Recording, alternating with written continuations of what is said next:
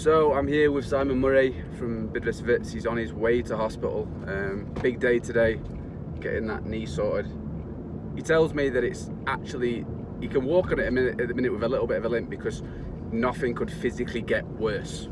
Um, how are you feeling today? Yeah, feeling excited for the for the operation now. It's it's been like a week, nearly two weeks, and it was obviously sad at the time, and obviously the initial shock of going to be out for that length of time. But now I'm over that. I'm, I'm just excited to get this done so I can get onto the, the rehab. Yeah, like the next stage of, The, the what you need. The next stage. This has never happened to you before, right? You've never had a, a like a major injury like this. yeah, never, no injury. Never had a. I've never missed a game through injury before. Wow. in my whole career. So that made I, I, look. I, I count myself lucky that I've that I've got to 27, never had an injury, um, I never missed a game, or even I never missed training through through injury. Yeah. So I can count myself lucky. But on the other hand, I, I- it's maybe made it worse than mm, like the shock of it coming Yeah. in such a bad one. Yeah, yeah, from no injuries to nine months. Yeah. Um, I mean, look, with this kind of injury, obviously it's going to be a, a difficult process. It's going to take a lot of willpower, a lot of um, mental strength from yourself. Um, what do you think is going to be the, the biggest key to you making sure that this isn't something that sort of ruins things for you or for, or for, for your career? I just think the well the most important thing, obviously after the the operation and the surgeon like the surgeon fixes or puts in place, the the rehab and building the strength up and you know making sure that I do everything right after the after the operation, um, just being professional and and working on the strength and basically yeah making sure I don't rush back. Yeah. And how important is gonna is, is having the family here? Obviously, you've got a, a, a newborn as well. Yeah. Um, having them around to sort of help you through this is, is that going to be a big part for you as well? Yeah, so the mental side, and obviously when you're going to, to training every day and you're seeing seeing your teammates playing and in training and then playing the matches, and, and you know that's what you're missing out. Then definitely the the mental side is they're going to need to like my girlfriend. She's she's uh, actually she was a nurse, so Oh, that helps. That's so very helpful. she'll be uh, my private nurse back in, in the house. But no, definitely, I think for the mental side, look, I've never been through an injury, so you guys, when we do this um, through the whole journey, yeah, there might be days where I'm miserable. miserable and normally I'm a happy character. Yeah. But I'm sure this injury will bring out sides that I've maybe that will challenge me in my career, and that's what I'm hoping for. That will will definitely make me a, a stronger person when I come out this the other side. Yeah, and, and you know, have you been given any sort of uh, indications of what is coming for you now? I mean, I know you you're very close with Nick, obviously through this process at Wits. Yeah. Um, have you spoken to Nick about sort of, sort of what this is going to entail for you? So yeah, Nick's Nick's very good. Um, he's very upfront. He knows his stuff. He's done done these things. I think was it the guy at Wits had the similar Yeah, knee, knee yeah, injury. yeah. Phakamani Mahlambi went through a, a similar thing. Yeah, So he's told me basically when when the operation is done, tomorrow I'll I'll get out of hospital. The next day we start straight away, um, getting the range back in the Yeah. movement of, of the knee. so there's no sort of uh, rest period. You you want to get it started straight away.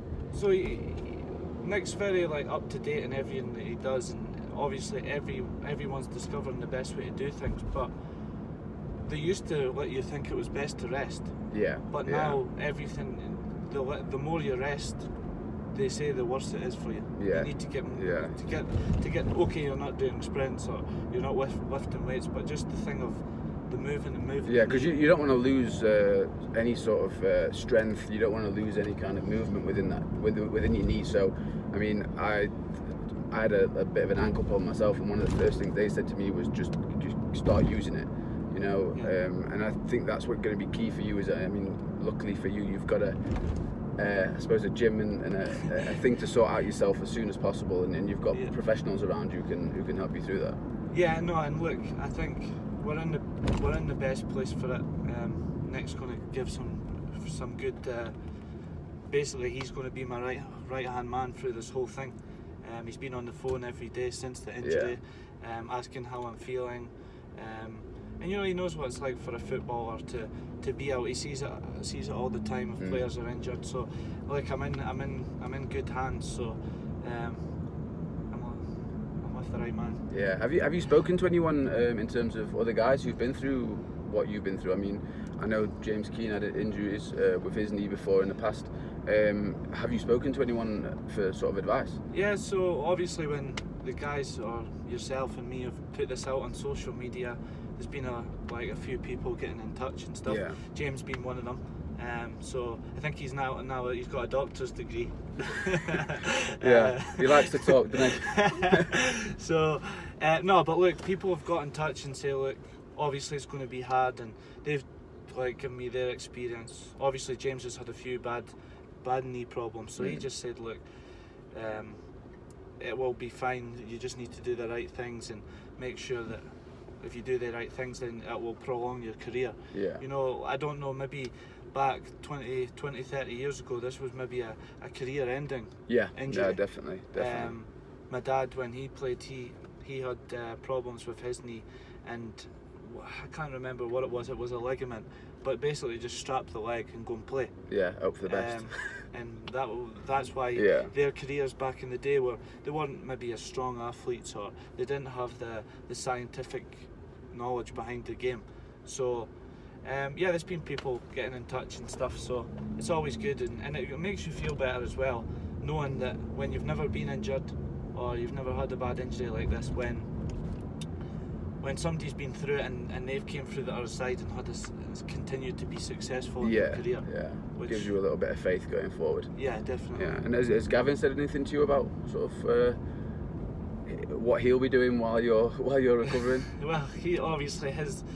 Like when as soon as I got injured, the the next day he gave me a message and asked how it was and stuff like that. Um, until we found out obviously the extent of the injury. yeah. Um, and then look, he just said I need to get in the gym and be, just be with the right people. But Gavin will be working on the the team and hopefully continuing a successful season. But the team has started quite well.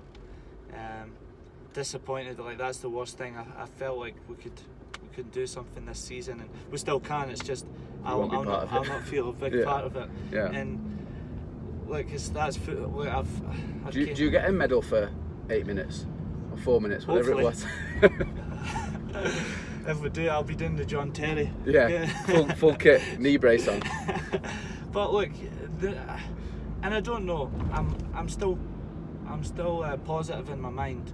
Where if you look, nine months is the is is the likelihood because what the doctor said or the surgeon said was um, basically you will be strong in your legs, but it's the bone that needs to heal Yeah, around. So it takes a certain amount of time, even though you might feel strong. The, the bone needs to become strong. yeah. So it's yeah. not like my, mus- my muscles will still Be be, strong, and when I'm building, they will get stronger. Yeah, So I'm still I'm still in my mind. Think I, am going to like I'm not going to come back and rush it, but there's something in my mind that I would that always you always want to come back. As Finger, quick as you fingers crossed it's not the full nine months. Yeah, fingers crossed. it's not Um, and just tell us a little bit about what they're actually going to do. I mean, I know that in the past they've they've done things with ACLs where you take part of the hamstring and you use that to patch up and, and fix the ligaments. What are they actually going to be doing with, with yours? Yeah, so the surgeon is. I went into the to see him on, on Friday, and he's, he just explained all what's happening. So what what I've actually got is a ruptured ACL, which is basically split, It's So- completely gone, right? Com- complete- Rupture mean it's a complete complete snap, gone. Yeah, yeah. So that's why I'm I'm able to drive now because it doesn't really matter. Yeah. If it was maybe torn a little bit, they wouldn't want me yeah, driving. 'cause yeah. Like you said, you can't make it worse. Exactly. So, um, what they're going to do is they're going to take uh, my quad muscle or something from the quad Right. and basically screw four holes at either side of the knee and pull that through the knee and join. So that Right. will be the new ligament.